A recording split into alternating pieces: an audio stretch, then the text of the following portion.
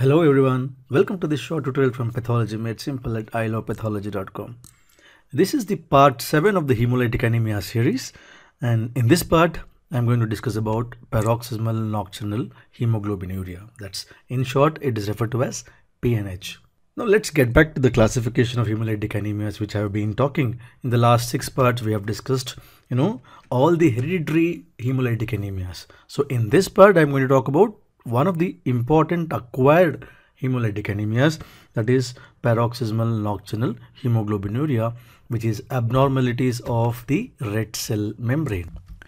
The learning objectives for today's session will be, you know, you will know how to define PNH, you will understand the pathogenesis of uh, PNH, we will list out various clinical features of PNH and then, you know, understand the various laboratory diagnostic aspects of PNH and finally a point about uh, treatment of PNH. Now, what is PNH? Paroxysmal nocturnal hemoglobinuria is a disease of hematopoietic stem cell. Now, this is the only hemolytic anemia with acquired mutation in the hematopoietic stem cell. Now, let us understand the hematopoiesis in general. So, we know that hematopoietic stem cells, okay, they differentiate into various progenitor cells which have the self-renewal capacity and they can differentiate into the myeloid lineage and the lymphoid lineage. The myeloid lineage can further, you know, give rise to erythrocytes, granulocytes, megakaryocytes, monocytes, whereas the lymphoid lineage can give rise to B lineage cells, T cells and NK cells. Okay.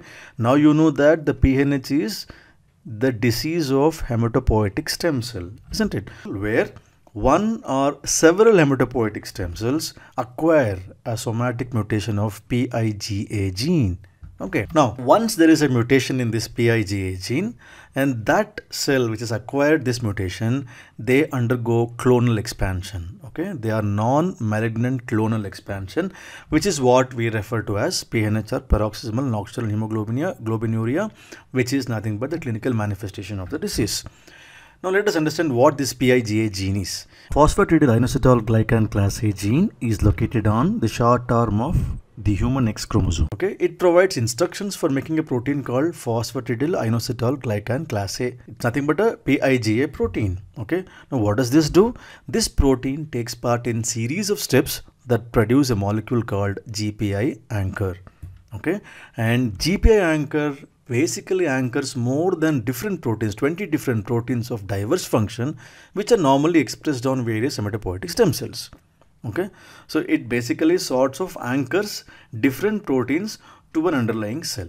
Now imagine that this is a cell membrane and these are the anchor proteins. Okay? These are gpi anchor or a glycophosphatidyl inositol anchor okay and those are the proteins which attaches to these anchors now we are interested in two important proteins which are relevant for today's topic and these proteins are cd59 and cd55 CD59 is also referred to as membrane inhibitor of reactive lysis, whereas CD55 is a decay accelerating factor. What are these? These are complement regulatory proteins.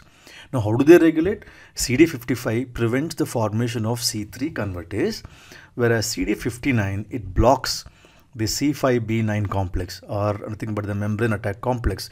It is this membrane attack complex which attacks the cell membranes and then makes pores on those cell membranes and then the cell dies. So basically these proteins that is CD59 and CD55 they prevent the damage to any of these cells by the products of these complement pathways. So now we need to understand that deficiency of these two proteins accounts for the complement mediated intravascular hemolysis okay and that is a primary manifestation of this particular disease. Now we know that there is a PIGA gene on chromosome number 10 whenever there is a somatic mutation in the hematopoietic stem cells what happens there will be deficient or absent GPI anchor proteins. So now we know that whenever there is a deficiency or absence of these anchor proteins, even though if you have these CD59 and 55 in circulation, they are not of use. So for these cells, these proteins that is CD59 and CD55 they are deficient. That means to say that these complement regulatory proteins, they are not linked to the cell membrane and these cells are susceptible to lysis by the complement. So as I told you, somatic mutations of the PIGA occur in hematopoietic stem cells. When I say hematopoietic stem cells, all the cell lineages are involved, whether it is erythroid, myeloid or megakaryocytic, all lineages are involved Okay, but then for some reasons, RBCs are predominantly affected. The WBCs are not much affected, the thrombocytes are not much affected, basically because they might have some other proteins or some other factors which are which makes them resistant to these complement products. Okay, but then these anucleated cells are the RBCs are the ones which are most commonly or predominantly affected by this PIGA gene mutation. So as I said, the mutation can occur in one hematopoietic stem cells or few hematopoietic stem cells or most hematopoietic stem cells. Okay, based on the number of hematopoietic stem cells involved, even in the circulation, typically you can have normal cells and PNH blood cells okay? These two coexist in the patients with pnh so these cells can be small percentage in some cases or it can be more than 90 percent in some cases okay? So based on the percentage of cells a uh, percentage of these pnh cells there is wide variations in symptoms. That is what we need to understand. The symptomatology depends upon the percentage of pnh cells in the circulation. Okay? Now by now you would have understood that the etiopathogenesis of pnh is much simpler. It's basically a sensitivity to complement mediated lysis isn't it? That sensitivity is because of deficiency of CD59 and CD55 and that deficiency is because of deficiency of these anchor proteins or GPI anchor proteins. Now look at this that is a normal red blood cell okay with a GPI anchor and of course you can uh, expect that CD59 and CD55 can easily attach to these GPI anchors and these are normal erythrocytes and absolutely no hemolysis. What is this? This is an RBC which do not have a GPI anchor and that's why it is referred to as a PNH erythrocyte we all should understand that under physiologic conditions, the alternate pathway of complement is in a state of continuous low grade activation. That will be activated throughout the day 24 bar 7. Normal erythrocytes which have a protective proteins, they are not hemolyzed and that's why they survive their complete lifespan. Now, whereas PNH erythrocytes which have deficiency in these anchor proteins, okay and thereby you don't have these complement regulatory proteins that means to say that they will have chronic spontaneous hemolysis it is said that the lifespan of rbcs in pnh is around 6 days. Now let us understand the terminology paroxysmal nocturnal hemoglobinuria. Why is the word nocturnal used? Okay, so uh, during night, you know, during sleep, it is said that there is some amount of hyperventilation which results in retention of carbon dioxide, some amount of carbon dioxide, and that can lead to mild respiratory acidosis, which can activate complement. And because you have activated uh, complement pathway, you can find these complement products, particularly the membrane attack complex. And now that you know that you have PNH cells which are sensitive to these complement products because they're not protected by those proteins. So they undergo hemolysis. Okay? So uh, earlier it was thought that this happens only during night but then this theory is now disproved.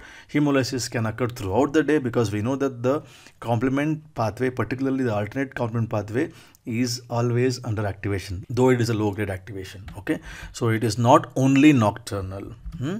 but then you can have episodes of symptoms there can be paroxysms of symptoms which can be precipitated by various infections it can be precipitated by some drugs you know or can be trauma but sometimes it can be spontaneous without any precipitating factors that's why it is called paroxysmal. Okay, paroxysmal nocturnal hemoglobinuria. The hemoglobinuria part we will understand it a bit later. Okay, now when intravascular hemolysis occurs at night, what happens? Hemoglobin accumulates in the bladder okay all the hemoglobin which is filtered mm, through the renal uh, tubular epithelial cells they accumulate in the bladder isn't it? Okay this particular uh, urine in the bladder okay if the urine is acidic the hemoglobin in acidic urine can gets converted into acid hematin and that's how the color changes. So once these things happen the following morning you know these patients you know they are so shocked to see this startlingly abnormal appearance of the first voided urine and this is hemoglobinuria which is painless and the color ranges from red to brown to even black depending upon the content of hemoglobin and then the content of acid hematin formation. Now what are the features of paroxysmal nocturnal hemoglobinuria? Classical cases. In classical PNH cases, there will be macroscopic hemoglobinuria. But unfortunately, these classical cases accounts to only 25% of cases. Okay.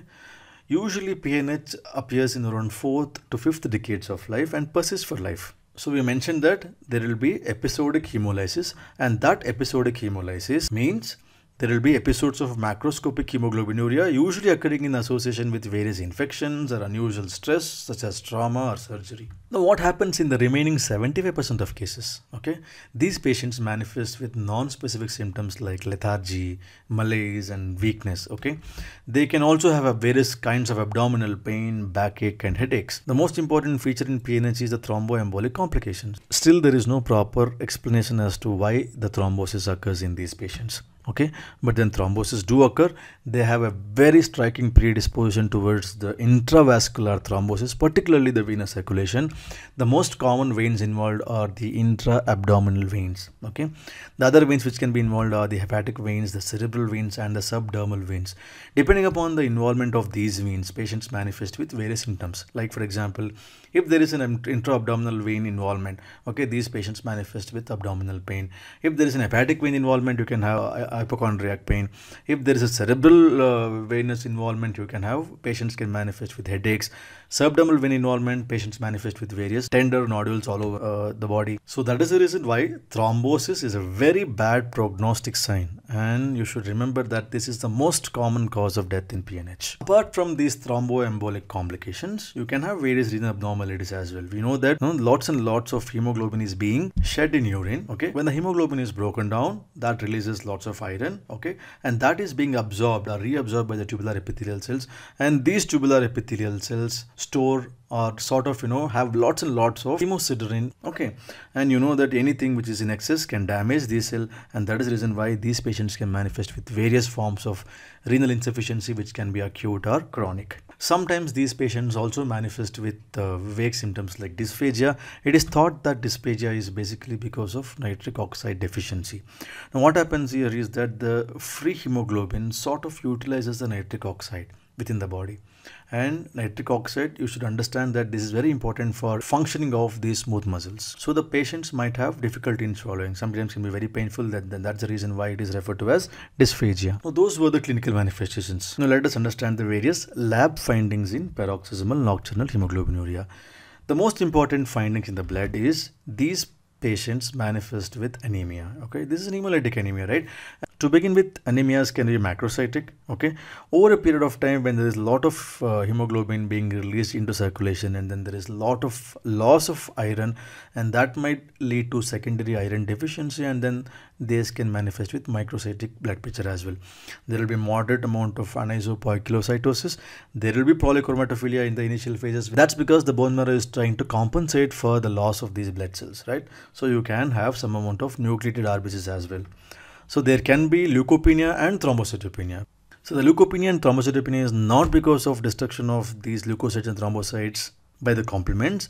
It's basically because of bone marrow destruction rather than complement mediated destruction.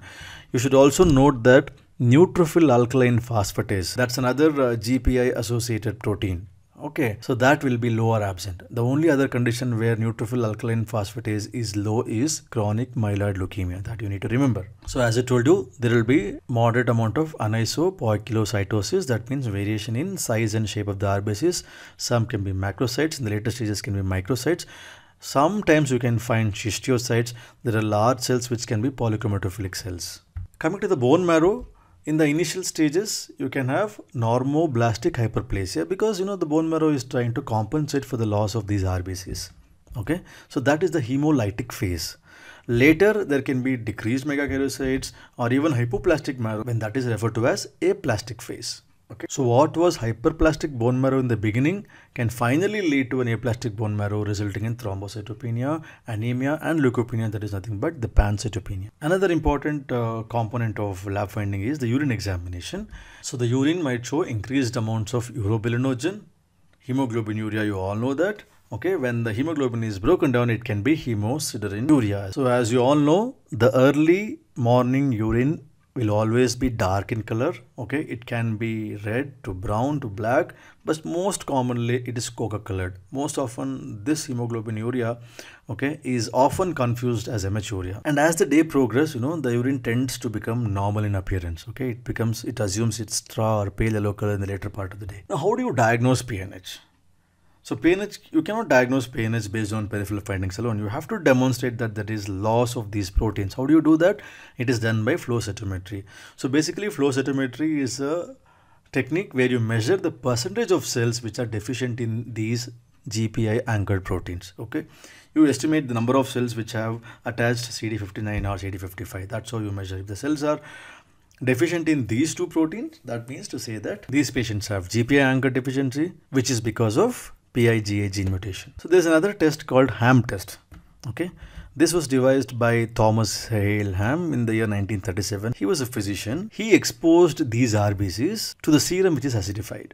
Once these PNH RBCs are exposed to the serum which is acidified, they are lysed. I mean the RBCs are lysed because of complement and this is also known as acidified serum lysis test. But the drawback of this particular test is that this is having a very low sensitivity and low specificity as well. So that's the reason why this test is obsolete now. Okay, you you you you diagnose PNH based on the flow cytometric findings and the estimation of the levels of CD uh, 59 and 55 containing cells. So other investigations which you can consider in PNH is the plasma and serum findings basically to demonstrate the evidence of intravascular hemolysis.